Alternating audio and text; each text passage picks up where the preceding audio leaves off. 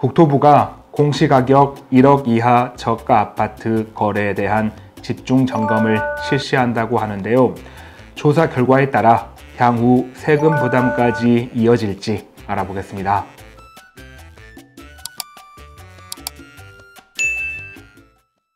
국토부가 11월 11일에 공시가격 1억 이하 저가 아파트 매매 거래에 대해서 집중 조사하겠다라고 발표했습니다. 조사 대상은 2020년 7월부터 2021년 9월까지 저가 아파트를 매수한 법인 또는 외지인의 거래 중에서 선별된 이상 거래가 해당이 됩니다. 그러니까 자금 조달 계획서나 매도인, 매수인, 거래 가격 등을 종합 검토해서 선별을 하겠죠.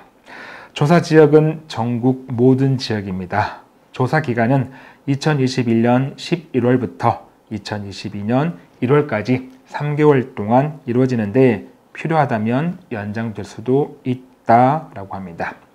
그래서 부동산 거래 분석 기획단에서 집중적인 실거래 조사가 이어지지 않을까 싶습니다.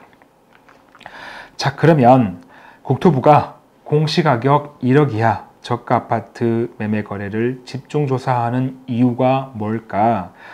발표된 자료를 그대로 읽으면 최근 취득세 중과나 양도세 중과를 피하기 위한 편법으로 법인 또는 외지인이 저가 아파트를 사서 모으고 있다라는 국회나 언론 등의 지적이 제기되고 있어서 조사하는 거다라고 하는데 어, 사실 편법이라기보다는 법을 제대로 이용하는 거겠죠. 어, 여러분도 잘 아시겠지만 공시가격 1억 이하 주택은 취득세 중과 대상에서 제외가 되죠. 그래서 취득세 부담 없이 주택을 구입하고 싶으신 분들이 많이 샀다는 얘기고 양도세 중과를 피한다는 건 크게 두 가지가 있습니다. 첫 번째는 지금 표를 보실 텐데요. 이 양도세 중과라는 건 조정 대상 지역에 위치하고 있는 주택을 팔아야 다주택자가 그 조정 대상 지역에 있는 주택을 팔아야 양도세가 중과되는 거잖아요. 근데 공시가격 1억 이하 주택이 조정 대상 지역이 아닌 비조정 대상 지역에 있다면 양도세 중과가 되지 않는 거죠. 그리고 공시가격 1억 이하 주택은 아무래도 조정 지역보다는 비조정 대상 지역에 많이 위치하고 있고요.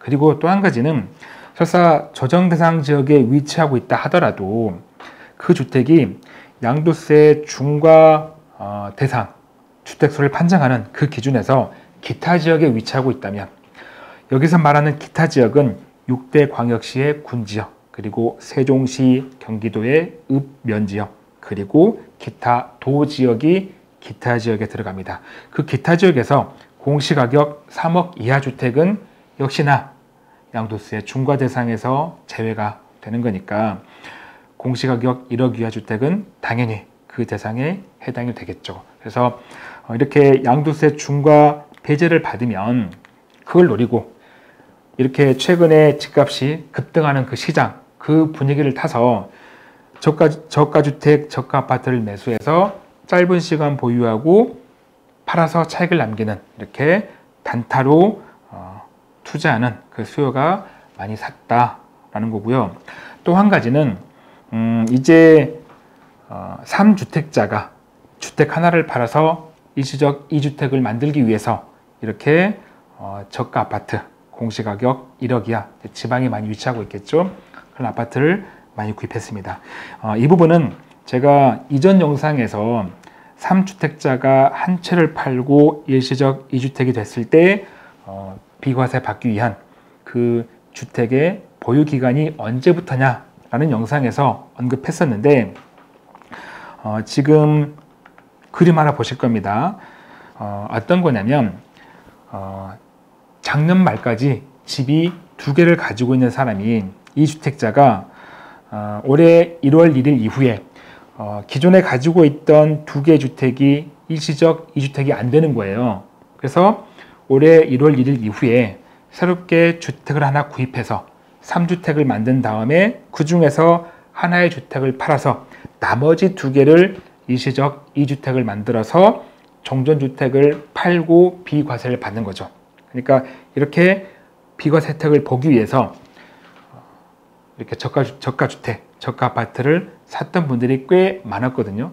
물론 이거는 음, 앞전 영상에서 설명드렸지만 이제 이것도 어, 기재부가 유권 해석을 발표했던 올해 11월 2일 어, 이후로는 비과세를 받지 못하지만 어쨌든 그 전에 이런 걸 노리고 이렇게 저가 아파트를 많이 매수했다라는 겁니다. 자 그러면 어, 대체 그동안에 이 저가 아파트가 얼마나 거래가 됐길래 이렇게 국토부가 뒤늦게나마 발벗고 나섰을까 칼을 빼들었을까 라는 부분인데 2020년 7월부터 2021년 9월까지 약 1년 2개월간이죠. 이때 저가 아파트의 전체 거래량이 24만 6천 건이었대요. 그리고 이 중에서 법인 6,700개 정도 되는 법인이 8.7%인 어, 2만 1천 건을 매수했고 그리고 이제 외지인, 현지인이 아닌 외지인이 한 8만 건 정도 그리고 그 외지인은 한 5만 9천 명인데 그 5만 9천 명이 8만 건을 매수한 거죠. 한 32.7%인데 이렇게 어, 법인과 외지인이 저가 아파트를 많이 매수했다라는 겁니다. 특히나 이제 법인의 매수 비율이 많이 늘었다는 거예요. 그래서 어, 투기 행위가 아니냐 라는 것들이 많이 제기되다 보니까 국토부가 뒤늦게나마 이렇게 조사를 하는 것 같습니다. 어, 물론 이제 어, 밖으로 내세우는 어떤 명분들은 어, 물론 이제 단순히 집을 샀다고 그래가지고 투기라고 볼 수 없겠지만 어쨌든 이렇게 집을 사오 모으면 어, 거래 가격이 상승하니까 그로 인해서 실수요자가 피해를 보니까 그 실수요자를 보호하기 위해서 집중 조사가 필요하다 라고 합니다. 자 그러면 이렇게 조사 마치고 나면 향후에 어떤 조치가 취해질 것인가? 어, 이제 조사해서 그 조사 결과에 음, 어떤 거래 과정에서 업계약이나 다운계약 아니면 편법 증여 아니면 명의신탁 이처럼 이렇게 어, 위법한 사실이 확인된다면 경찰청, 국세청, 금융위원회 이런 관계기관에 통보해서 엄중 조치를 할 거라고 합니다. 근데 우리가 이제 걱정되는 건 아마 대부분은 이렇게 위법 행위보다는 물론 있겠지만 대부분은 합법적으로 적법하게 주택을 매수했을 거니까 그분들이 걱정하는 건 이런 조사가 있고 나서 나중에 어, 취득, 취득세 중과 배제 받던 부분을 취득세를 중과시킨다거나 아니면 양도세 중과 배제 받는 부분을 양도세를 중과시키는 이렇게 세금 부담으로 이어질 것인가 이게 가장 궁금하실 텐데 어, 사실 이렇게 되려면 소득세법 시행령 이 관련 법령을 개정을 해야 됩니다. 그래서 그러한 개정이 필요한 부분이긴 하지만 그리고 굳이 이렇게 공시가격 1억 이하 저가 주택에 대해서까지 과한 세금을 물어야하는 것이냐 라는 의문도 당연히 따르는 거고요. 만약에 여기에 어, 세금 부담을 가중시킨다면 거래량이 또 급격하게 줄 거거든요. 그래서 과연 그럴 필요가 있을까라는 생각은 듭니다만 어, 지금까지 정부의 방향을 보면 규제 일변도잖아요. 그래서 그런 정부의 기조에 비춰 본다면 불가능한 얘기는 아닐 것이다.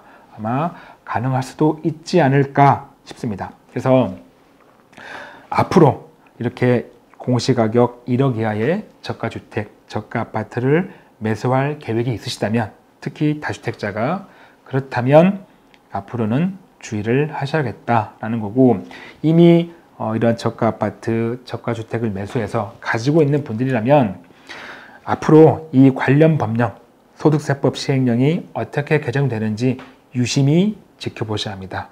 어, 그 개정 어, 되는 것에 따라서 그리고 경과 규정에 따라서 가지고 있던 저가 주택, 저가 아파트를 일괄적으로 정리할 필요가 있겠고 아니면 또 언젠가는 그 법령마저도 다시 바뀔지 모르니까 어, 공시가격 1억 이하 저가 주택이긴 하지만 정말 입지가 뭐 좋아서 그래도 가지고 있으면 나중에 조금 더 오를 거야 라는 가치가 있다면 또 계속 가지고 가는 그런 선택을 해야 되기 때문에 어, 관련 법령이 어떻게 바뀌는지 잘 지켜봐야겠습니다. 이렇게 국토부가 공시가격 1억 이하 저가 아파트 매매 거래에 대해서 집중 조사를 시작하겠다라는 내용 살펴봤는데요. 향후에 어, 세금 부담까지 이어질지는 지켜봐야겠습니다만 어쨌든 지금 시기는 집을 사기도 팔기도 힘든 시기입니다. 그러니까 여러분께서 만약 지금 이 시기에 주택을 사거나 팔 계획이시라면 본인의 신중한 고민도 필요하지만 좀 더 나아가서 주변 전문가에게 자문을 구하고 결정하는 지혜가 필요하겠습니다. 마무리할 시간입니다. 저에게 큰 힘이 되는 구독하기와 좋아요, 알림 설정 꼭 눌러주시고요. 저는 다음 영상에도 최선을 다하겠습니다. 고맙습니다.